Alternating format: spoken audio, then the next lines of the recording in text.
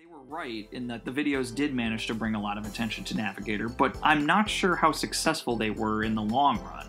I mean, most people know NAVGTR is the channel that posts gaming in the Clinton years, while know nothing whatsoever about the awards that they give out. Indeed, this comment from Thonaros sums up the attitudes of more than a fair amount of viewers. What the fuck happened to this channel? What the fuck? What the fuck? What the fuck? What the fuck?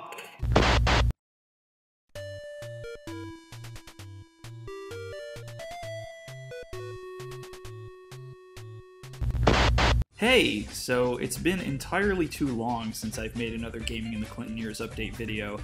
I'd actually been planning this one since literally the middle of January, so I thought now would be a good time to get off my ass and actually put it together. Hopefully you're all caught up with my previous updates because, unlike some of the others, this one more or less continues straight from where the last one left off. So, do you all remember in my last update how I was actually super excited because George Wood had made his grand return to YouTube after an absence of like five years? And how it seemed like we were going to be getting a lot more George Wood videos in the foreseeable future? Well, maybe I should have known better because my excitement was entirely misguided. You can't tell from the current state of their channel, but what followed had NAVGTR purge basically every single video from their YouTube account, effectively destroying their channel and almost completely alienating what little fanbase they had in the process. Yeah, what follows is easily in the running for the weirdest story arc in the history of gaming in the Clinton years, and considering all the other weird shit I've talked about over the past two years, think about what a high bar that is to clear. So I've kept you waiting long enough. Without further ado, let's take a look at, to once again quote Thonaros, what the fuck happened to this channel? So even though I suggested that everyone watch my last update video, I will bring everyone up to speed on the basics. On Halloween of last year, George Wood, on his personal YouTube channel, released George Wood The Return, which was a goofy Twin Peaks parody that was actually genuinely entertaining. At the same time, on the War of Awards channel, a video called George Wood Christmas was set to premiere on Christmas Day, promising even more George Wood weirdness. Given that I was pleasantly surprised by the humor of George Wood The Return, and because I was just excited to see anything George was doing after half a decade away from the internet, I eagerly awaited the new video.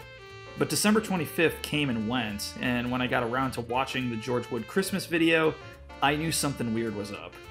I'm not gonna mince words, the video was not good. Sure, it starred George Wood and it featured a cameo from Santa, so at least we got what was advertised, but that's about all I can say in praise of it. Essentially, the video was another Twin Peaks parody, albeit one that, in my opinion, contained none of the charm that made George Wood The Return work. I think a big part of why that is has to do with an element of comedy that's just gone over the head of everyone at NAVGTR restraint. When a joke is funny, there's a natural tendency to continue milking it for all it's worth. But if that's even effective, after a while you're going to see diminishing returns. George Wood and his Twin Peaks parodies exemplify this perfectly. The first video was so effective partly because it was short, self contained, and said everything that it needed to. There was honestly no need for a continuation. What we got was nowhere near as entertaining, and honestly, it kind of makes me look back on that original video in a slightly more negative light. In any case, if that was the extent of what happened on Christmas, then it would have been pretty disappointing, but nothing really to write home about. However, little did I know that something far crazier was going on over on NAVGTR's main channel. Before I go any further, I have to make a short disclaimer. All of this was happening on or just after Christmas, and at the time, I was visiting family and in general not online very much. Because of that, I wasn't able to witness most of this in real time, most of my knowledge, and hell, even a lot of the screenshots I'm going to use in the coming minutes, I only have because a couple of people on the War of Awards Discord server messaged me directly. I'll be sure to credit the relevant parties individually when the time comes, but right now let me just say thanks for keeping me in the loop. So, at some point on Christmas Day, I got a message from War of Awards Discord member Rusty Lasagna.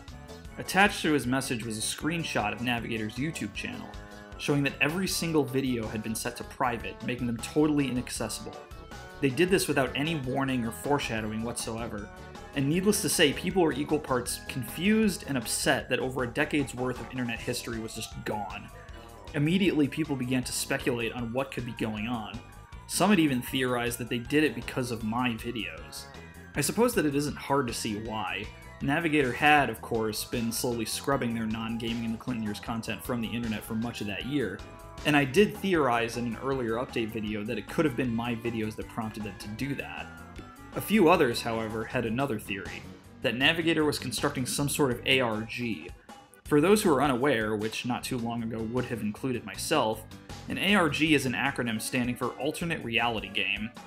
I'm going to shamelessly borrow the definition found on Wikipedia because it's pleasantly concise. An alternate reality game is an interactive network narrative that uses the real world as a platform and employs transmedia storytelling to deliver a story that may be altered by players' ideas or actions. Basically, it's a method of storytelling that leans in heavily on real time participation and is typically spread across a number of unique real world channels, for instance, on somebody's Twitter feed or in the comments of a YouTube video. I'll come back to this shortly, but for now, let's talk about what NAVGTR did on December 27th. On that day, NAVGTR uploaded a video called George Lives. To everyone's disappointment, the video did nothing to address the purging of their channel. Instead, it was simply a 57 second clip, in black and white and badly out of focus, from the 2000 film Gladiator. This confused the hell out of me for a few reasons. First, why Gladiator? The film hadn't been relevant in close to two decades, and is best known today more for robbing Crouching Tiger Hidden Dragon of a Best Picture Oscar above anything else. Second, there was no jokes here, and it featured nothing about George at all. It was just a clip from a now obscure movie. And third, the clip itself looks atrocious. You can probably find Gladiator on Blu ray for less than $10 now, but this looks worse than a second generation VHS copy. Whatever this was supposed to be, it did not go over very well. The like to dislike ratio says it all, and the comments are overwhelmingly, if not exclusively, negative. But before anyone had any time to process what the hell was going on, NAVGTR kept the crazy coming. For on that day, and I have to thank War of Awards member Lori for bringing this to my attention, all the Gaming in the Clinton Years videos, which remember, were all privatized only a couple days previous, were entirely removed from their channel altogether. I have no photo documentation of this, but it was surreal to see the total views for their channel, which had numbered in the millions just a few days before, reduced to zero. Suffice to say, NAVGTR's followers, which are already pissed off at the privatizations in the stupid Gladiator video, were decidedly less than thrilled. The negative comments kept piling in, both on YouTube and now on Twitter as well. But if you think this is the end to the story, oh no, there's even more. Now remember, at this point, NAVGTR hadn't posted anything outside of the George Lives video for quite a while, so everyone was used to seeing little to no activity on their channel, so all their subscribers must have been more than a bit confused when, all of a sudden, they received a flood of notifications for premieres of around a dozen new videos. And when I say confused, I mean pissed off, as most of these subscribers weren't keen on having their notifications getting bombed by all these premieres. Just imagine, you have a fairly dedicated fan base, albeit one that's focused mainly on morbidly observing your weirdness and ridiculing it when the need arises, and in a matter of a few days, that fanbase comes to regard a flood of new content from you, which at one point would have been cause for celebration, as a nuisance. It's almost impressive how quickly the channel was able to entirely squander the goodwill of their fans. This all led to the community leader of the Discord, Justen Oliver, releasing a statement to put the mind of the community at ease. Essentially, he said that he was just as in the dark about everything going on as the rest of the community, and that he would try to figure out what was going on. I suppose that's better than releasing no statement at all, but I do find it fascinating that, given how much overlap exists between the War of Awards and NAVGTR, remember, both of them are run by Tom Allen, the community leader of their own Discord server would be kept in the dark about a major development going on on their YouTube channel. So, what were these videos that flooded the notifications of their subscribers with premiere announcements? No surprise, but they were very odd. For starters, the average length on each video was less than 10 seconds, with the longest one clocking in at around 15. The titles seem to reference infamous quotes from their old reviews, but of course it gets even weirder than that. The same day the first of the new videos premiered, I got a message from Gator Violet, the curator of the wonderful No Context Gaming the Clinton Years Twitter account. Link to that in the description for those of you who haven't checked it out because it is hilarious. Anyway, she informed me that the videos NAVGTR were posting were, in fact, the exact same clips she had uploaded on her Twitter account, with no credit given to her, of course.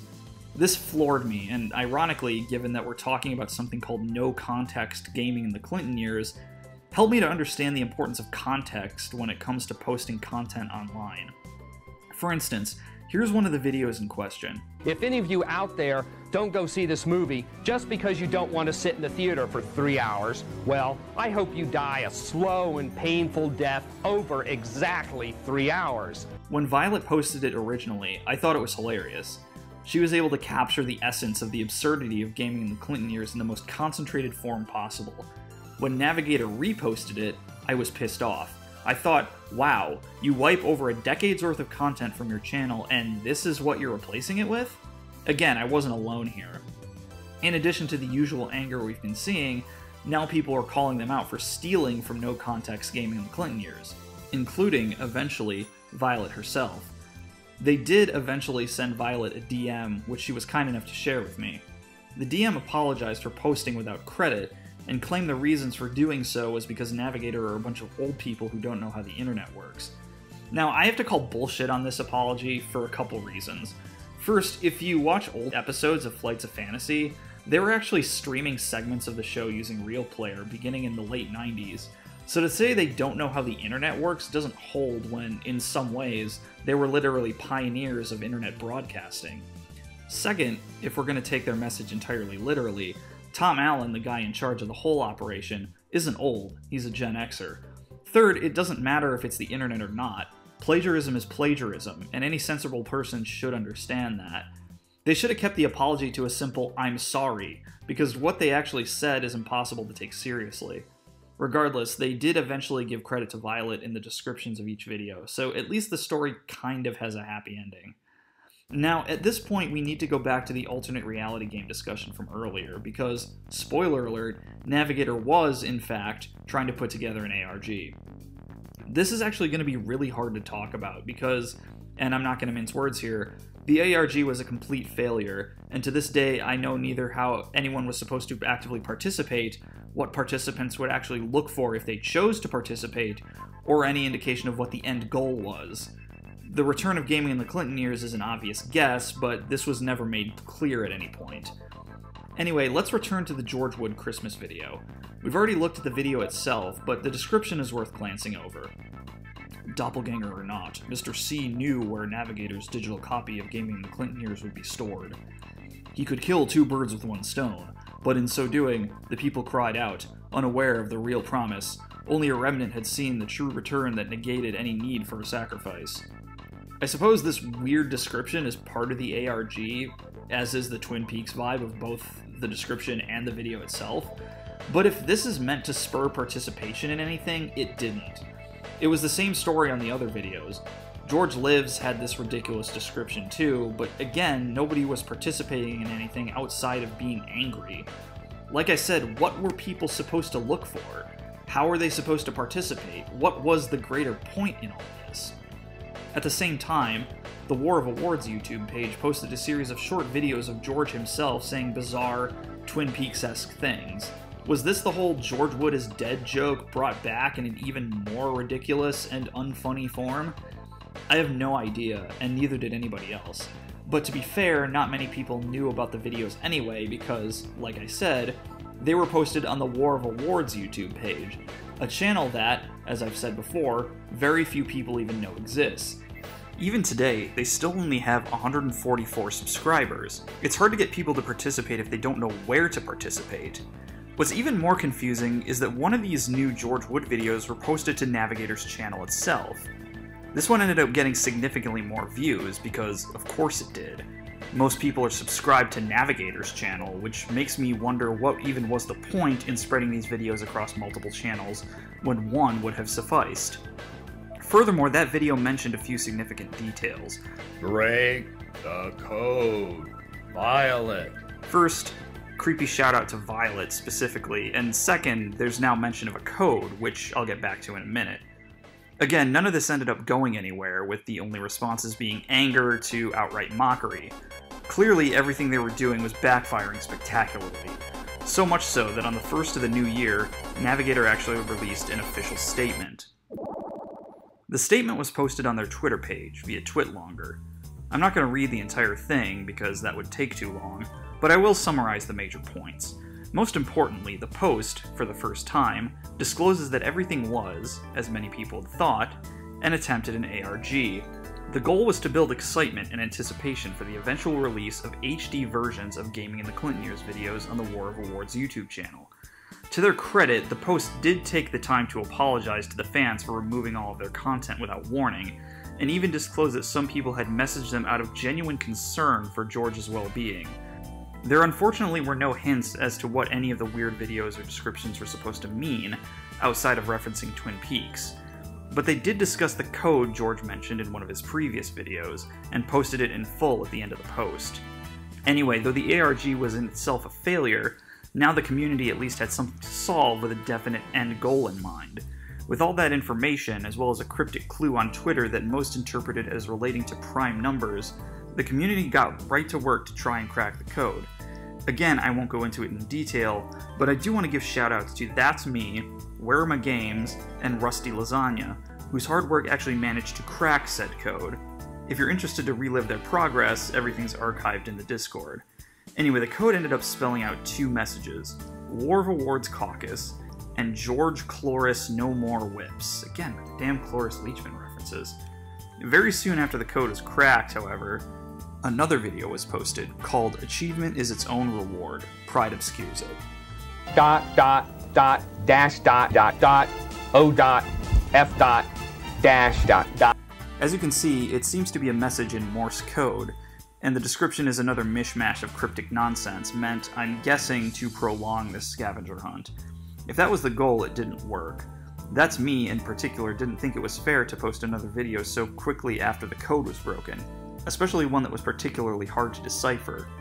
His words seem to have hit home, because later that day, we got our HD Gaming in the Clinton Years videos. There were two videos posted on the War of Awards channel that day a place both wonderful and strange, and every day, once a day, give yourself a present. Now, if this were any other organization aside from NAVGTR, I could just stop there and call it a day. But no, even this has a ridiculous story behind it. NAVGTR was advertising the videos as Gaming in the Clinton Years in HD, and this isn't necessarily what we got.